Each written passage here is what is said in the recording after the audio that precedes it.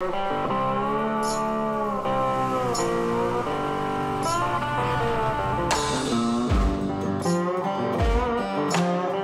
episode is sponsored by Karl's Bait and Tackle. Look at all these little fish. First fish.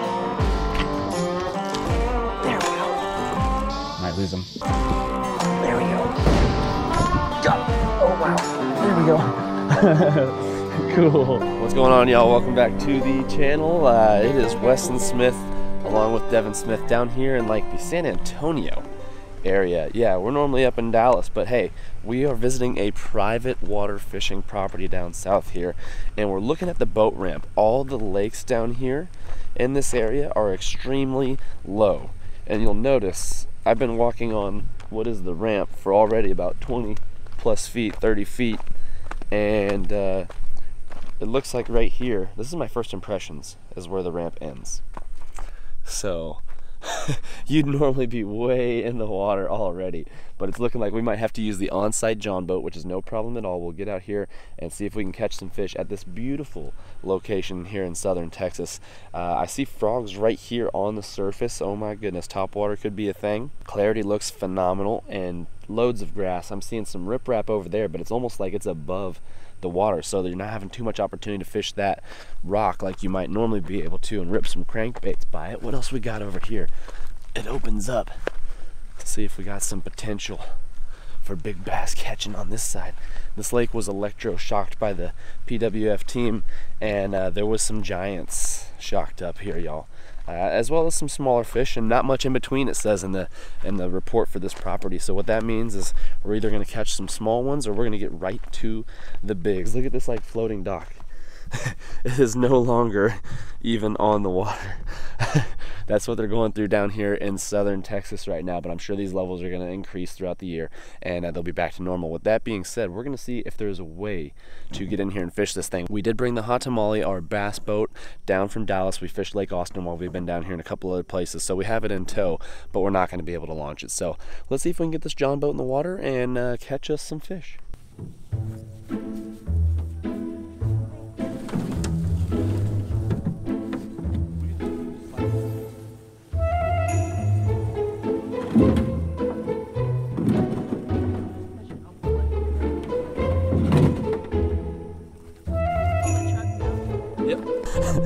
It is so slushy right there. I almost fell in. So Devin is pulling the Jon boat over here by the ramp.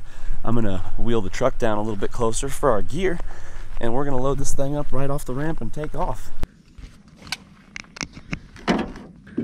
Here we go, I think. Look at all these little fish. Dang, a nice little gantarelle in here.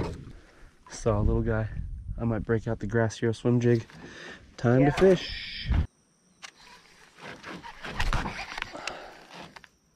Had a bite. Was it right on the grass edge?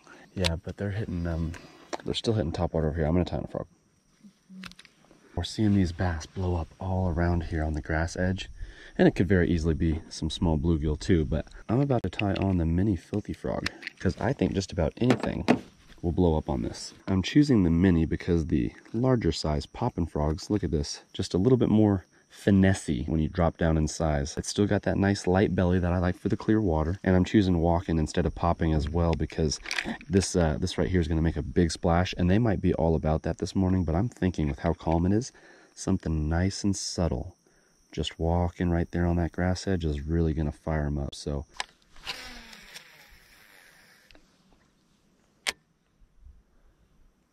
Well, we threw the frog, y'all. Oh, oh. there we go. Devin's on weightless Senko. Oh my gosh. First. Nice. First fish. First fish. First fish at Dogleg Ranch. Very nice. Yeah, it says to cull the little fishies. Yeah.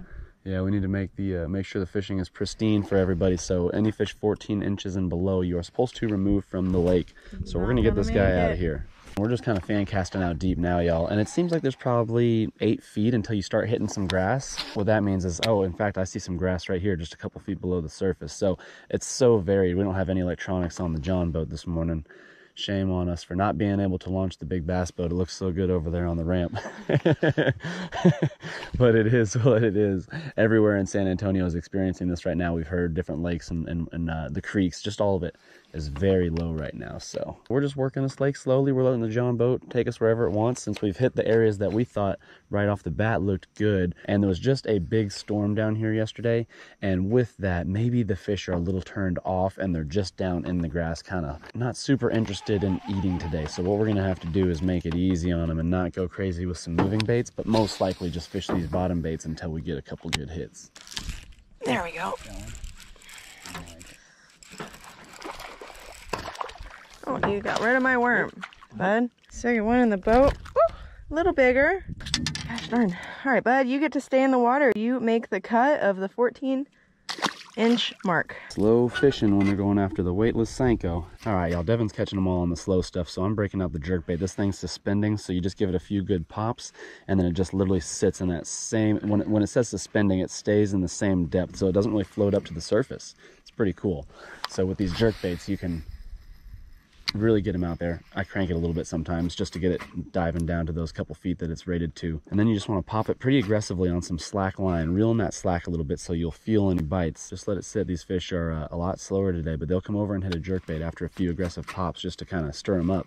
And then that thing's just sitting there and begging to be eaten. I'm just throwing it on some lighter 10 pound fluoro, that light casting twitch rod uh, with the BFS Curado. So with all that being said, if I catch something that's a few pounds, it's going to be tough to even get like a three plus pounder to the boat on this lighter setup right here just because they have such an opportunity to take us down into this thick grass and uh, potentially break us off so There we go. golly you are going crazy on the Senko. that one's a little bit bigger maybe Yeah. okay well, Devin's catching on the one this spot right here just looks too froggy again to not throw it for a second so I'm just gonna work through this thick grass We have found some fish, guys. This is that six inch Lunker Log in that watermelon red flake color, paired up with a 4-aught hammer hook, no weight. Bye. Usually when you think weightless worm, you think wacky rig. Well, there's so much thick, goopy grass in this property that I really don't want to have an exposed hook. So that is exactly why I'm throwing it on this hammer hook because just like a Texas rig, I can literally expose that hook back into the body and there we have it. I'm just going through the grass like nothing. Completely weedless. I guess I need to do that too, because I don't know what the F going on. I'm throwing all the good stuff in the good places. Oh, I just got hit. Dang. I think I'm gonna tie on a weightless worm too, y'all. This is getting annoying right here. so, to be fair, this is the first time this has happened. I just made a bad cast and kind of went into that goopy stuff, but you know.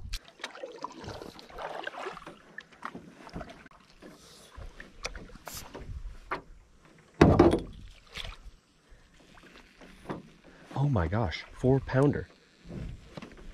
Right here. Look at him. Where'd he go? He's right here. There he is. There he is. See him? See him? Look, he's by the surface. He's coming up to the surface. No way you catch him. That was like easily a four. All right, y'all, absolutely beautiful property. We were just on a time crunch today, so we had like two hours to fish this place. We now got to go check out of our hotel and get back to Dallas. So we're gonna try and uh, either hit a lake or some uh, some other water in today's episode. But three fish out here on this private water fishing location, just uh, 60 minutes from San Antonio, if that. Uh, I'll leave all the information down in the description.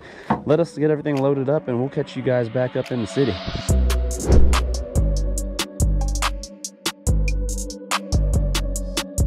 Today, Devin and I get out on the Jon boat. Welcome back to the channel, by the way. We just do a little bit of trash fishing. We kind of grab anything out of the tackle box. Hopefully y'all can learn something from tonight's video.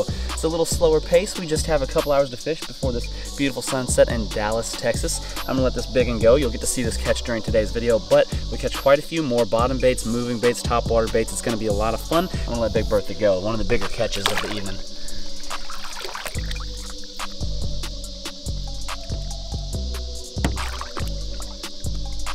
Gonna hit a flip for us. Oh. Not a bad way to start a video, you guys. Let's crank them.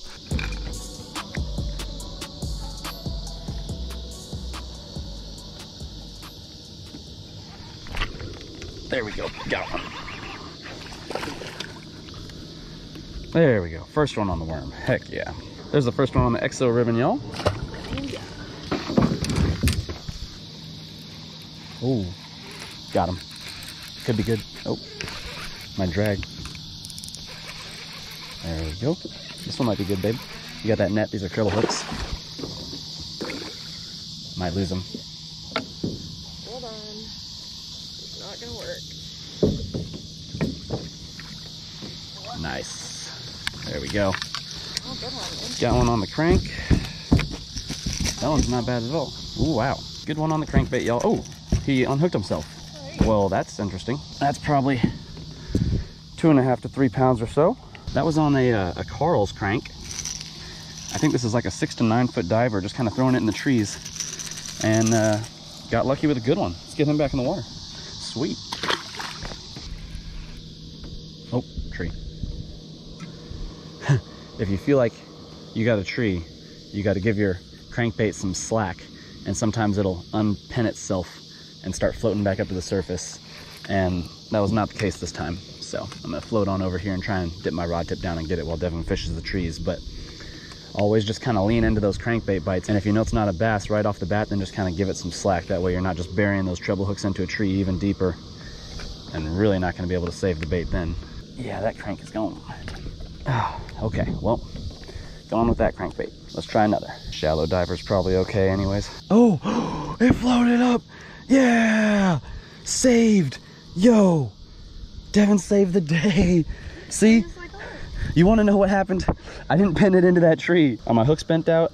Dang, they look good. So that square, I don't know what happened. Anyways, maybe I was meant to throw this crankbait. Someone is telling me I need to be throwing this. By the way, I think this is called the shiver crank, y'all, or maybe it's the deep shiver crank. Um, I'm trying to think exactly which model it is. I'm pretty sure it's like a six to nine foot diver. You can see I got my line loose from that last bird's nest, so I'm gonna try and do a little maintenance cast, as I call it. There we go.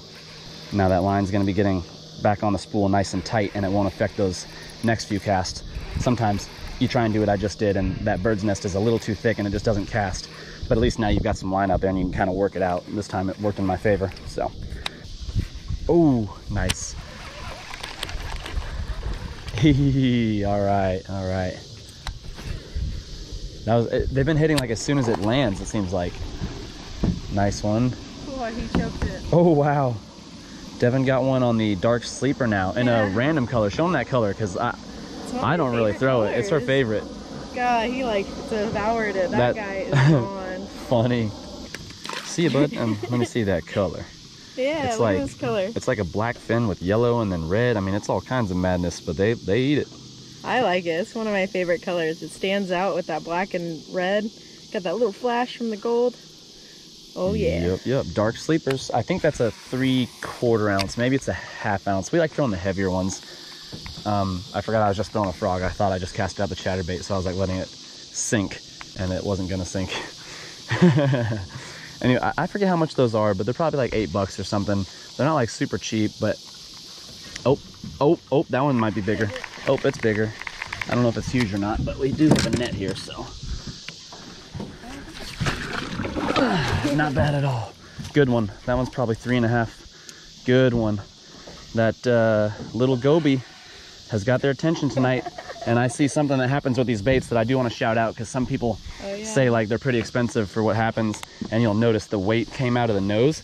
That's kind of typical with these. It happens quite frequently. So I think we'll be able to push it back up on there. But that bass just choked it. It's a little skinny. So maybe it's 2.75 to 3 pounds. But filled out, this thing would definitely be three and a half pounds. Look at how skinny it is, but it's got good length. Well, was that next cat? that was literally next cast, yeah. They're smashing the old, uh, what did I just call that thing? Dark Sleeper. That's like definitely one of her confidence baits, for sure. It's been a while since I've thrown it. Yeah. We're just throwing all kinds of different stuff for y'all tonight. Just uh, going out on a whim, grabbing all kinds of different tackle bags and boxes you can see, and uh, trying to catch a few fish for you before sunset. We might throw some more top water here in a bit. I'm tossing around the clickbait, which is fairly similar to what she's doing, just a smaller swim and bait fish profile. So maybe we can link up with a few more. Oh my god, it broke me off. Oh no. Fish. Ooh. Caught a few, didn't check the line probably. It's all good. I know, as soon as that fish hit and I like went to set the hook, it just went. Mm, just check your line and see if you need to uh, break off a little bit more.